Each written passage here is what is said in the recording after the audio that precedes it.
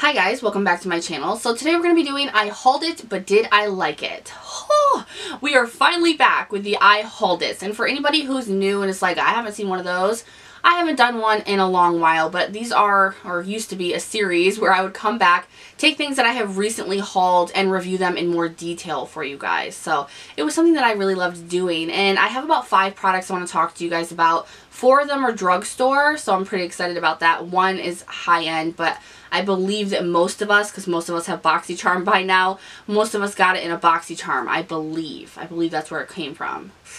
So if you guys want to see what I'm going to be reviewing and how I liked it, then just sit tight and we'll get right into it.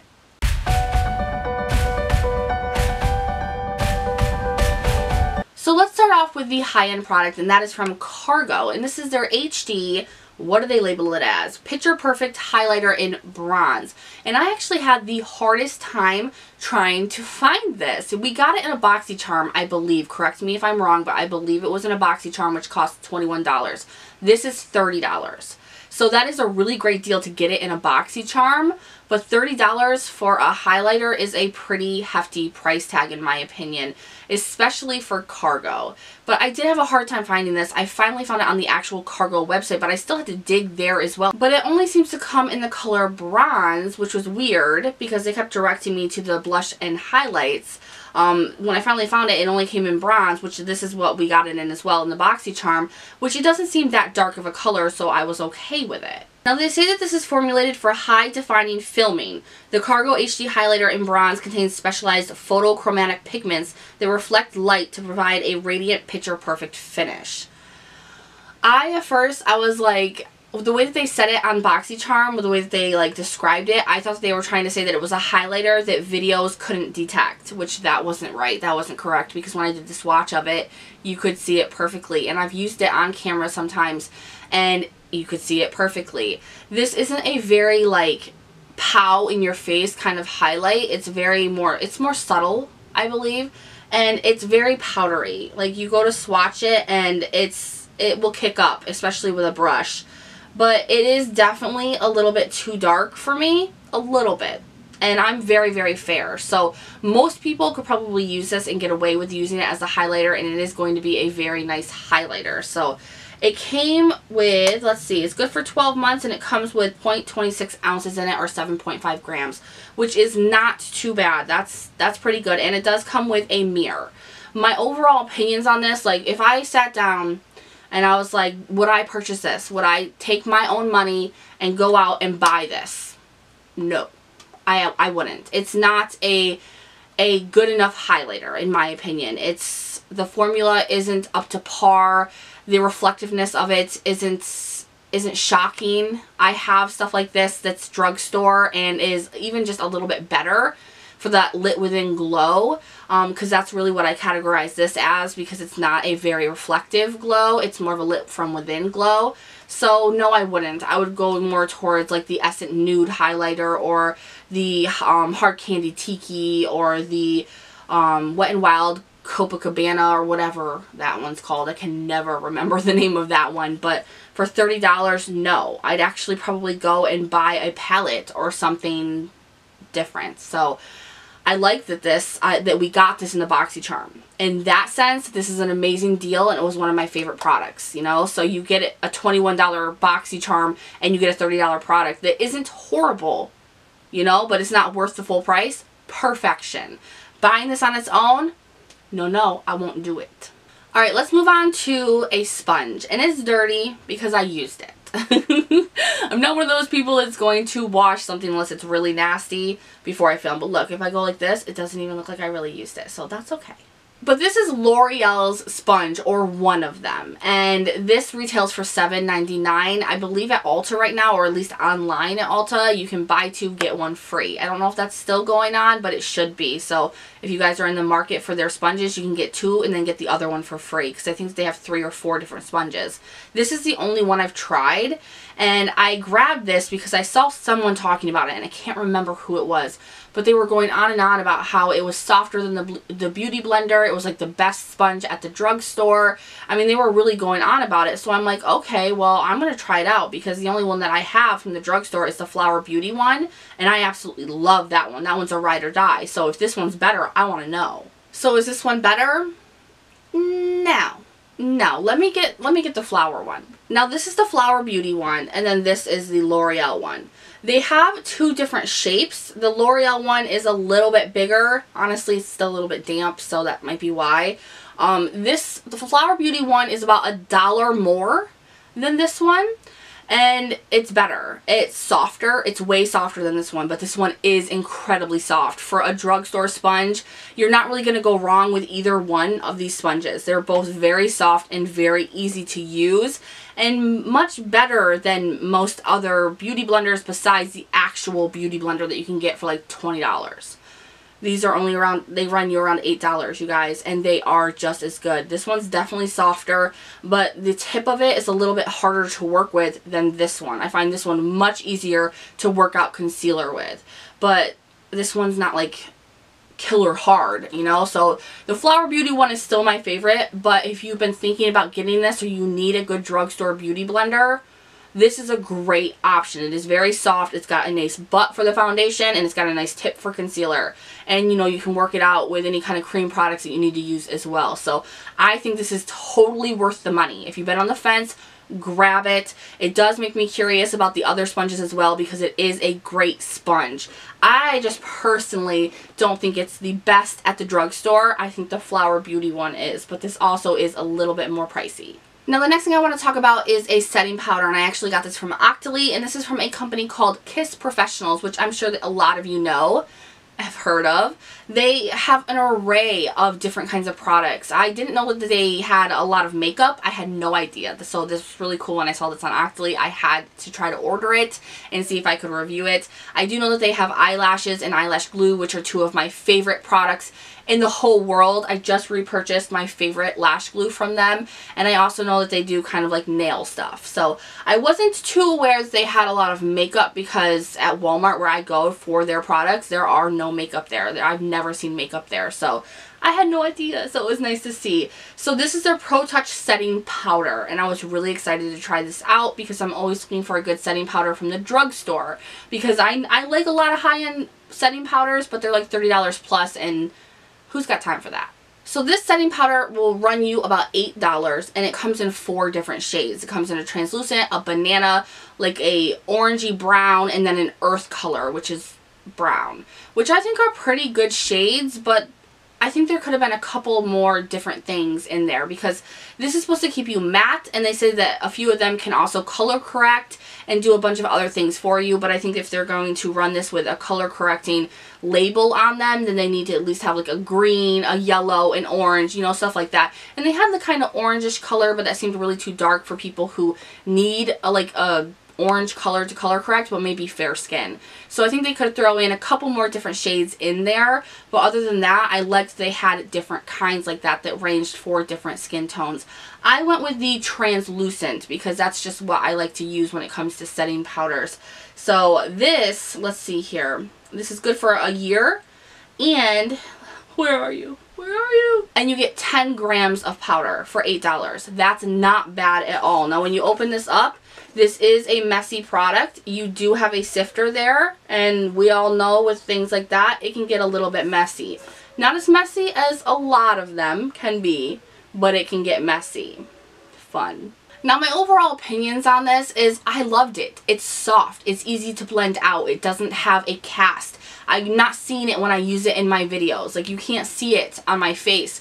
Like that IT Cosmetics powder that I will never let go of. You know, like it's great. I think it's amazing. I think it's worth purchasing. However, there are some things that threw me off a little bit. Like whenever I do use this, and it's the summer, so when I sweat, I sweat on my mustache and my forehead. And I noticed that when I use this and that happens, I start itching and I get a little bit of a rash. Exactly where I have light sweating on my face whenever I use this. And it's only this. And so I went looking into the ingredients and I noticed that the first ingredient in this is silica. And I checked all of my setting powders, you guys, and I have a ton of setting powders. And the only one that I found that had silica in it as well is the Catrice setting powder, the Prime and Fine mattifying powder. And I thought, well, maybe it's because it's mattifying. Maybe people use mattifying, you know, they use silica for mattifying. But I have mostly mattifying set setting powders because I like matte and none of them other ones, none of the other ones, let's try to talk, none of the other ones had silica in it. And this one does, but the silica is way, way down on the list. Silica is the first ingredient in this setting powder. And silica, if you don't know, is a property of silicone and it's used to make sand and glass fiberglass, like stuff like that. It's like it's used to make window pane glasses and sand products and stuff like that. Um, I'm not really sure what the need for it is in a setting powder. I don't know. I didn't delve that deep into it. If any of you know, let us know. Um, obviously, it can be commonly used, but not too commonly because out of about 20 setting powders, I only found one other one besides this one that had silica in it. And it's the first ingredient in this one. And I think that that may be what's causing a reaction when it's mixed with sweat on my face because I'm definitely having a reaction from it. But nothing to stop me from using it because you guys, I love it. It's so soft. It works amazingly. It keeps my makeup set all day. And it doesn't have the white cast. So, I'm good. Now, the last two products I want to talk to you guys about are from Milani's. Because Milani came out with a couple of new products um, at least that I know of because I can only find Milani at my local Walmart and they get everything like a month at least later than the whole world seems to. so I believe that these are new. So the first thing is a concealer and this is their Retouch and Erase Light Lifting Concealer. And it has one of those little like foamy butts on it, kind of like the Maybelline Age Rewind has, or at least I thought. And this comes with, let's see here, good for 12 months. Tell me how much you come with. Of course, it was on the front. it comes with 0.24 fluid ounces. Now, I'll be right back. Now, the Age Rewind comes with 0.2 fluid ounces, and this is 0.24. Now, I really didn't think, in my personal opinion, that there was a lot of concealer to this. This is very small compared to everything else that you see, so it kind of comes off like there would be more in other products than this, but maybe not. Um, this is really, really small. The sponge on it, now, let's actually talk about the formula here for a minute. I got it in 01 Fair, which I believe is the lightest or second to lightest shade, and it actually matched my skin tone. It didn't brighten, it didn't do any of that. It says it retouches and erases, and I don't believe that either. This, um, it looked horrible. it honestly looked really, really bad. I didn't like it. You guys will see that I used it in my next two videos this week that you'll see I was using that concealer. And it was just not good. There was something off about my skin, my face, at least I felt. Um, my under eyes just did not look good as they usually do or like they do now in my opinion. I've been using that Korean um, concealer and I just can't get around that and nothing else is good enough.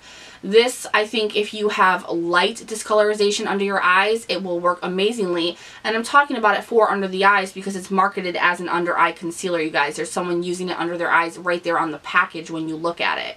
So it says it's a light lifting concealer and I just didn't see that. There was no lifting. There was no brightening. You know, I got it in fair. It should have been at least a little bit lighter than my skin tone and it wasn't. Um, and also this sponge here at the end when you use this, it's a very soft sponge. It's very soft, like a sponge. This is hard as a rock. It's hard as a rock and it comes out of the spout.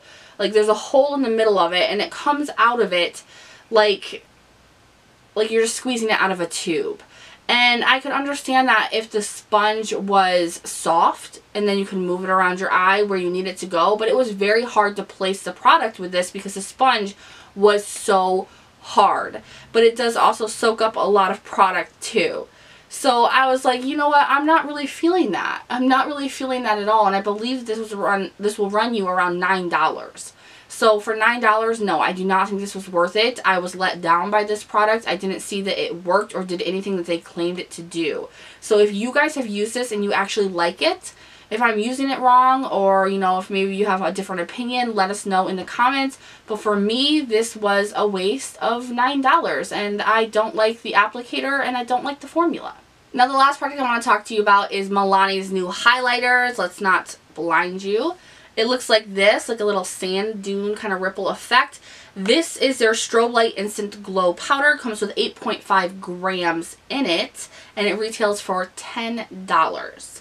It's very beautiful, and I believe that it comes in four or five shades. And mine were all sold out except for this one, which is 03, so it's the third darkest shade out of four, I believe. So it's a little bit too dark for me, but it can work. And it's called Sun Glow. And I want to get one this like the second one or the first one for an actual highlighter, but this one does work, especially if I get a tan this summer. This is not a bad product at all. I would recommend to get these. These are pretty. They're not too reflective, but they can be built up and they can be very pretty. And I think that it might not be as reflective for me because it's a little bit too dark for my skin tone and that's it. You know, like when you work with products that are not exactly for your skin type or your skin tone, your review of them can't be completely right. Not completely, but I do use things like this as eyebrow highlights, as inner corner highlights, and I can still use it as a cheek, nose, whatever kind of highlight I want to, especially with a bronze kind of look. The formula on these are are wonderful. They're not too powdery. They are very, very pigmented. I mean, you're you're definitely getting a nice glow there you're definitely getting a nice glow there. So I really think that these are completely worth it. They're beautiful. They do have the gold Milani kind of packaging to them that is a little bit thick. So they can be a little bit of a pain in the butt to store. But I mean, for $10, you're really, really getting a great product here. And I can't hate on it. I mean, what do you guys think about this product? Who has it? Who has it? Who was able to get it? Because I know that it was sold out so many different places and a lot of the shades are way, way dark. So I'm hoping I can find some lighter shades, but this one will do and I will keep it even if I get a lighter shade. So definitely worth it. It lasts a long time on the skin, you guys. The formula is very creamy, not too powdery. It's a $10 price tag and it does exactly what it says it does.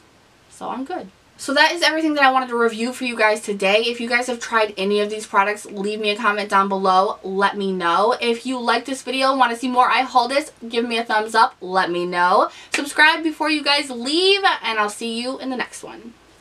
Bye. Put it on me!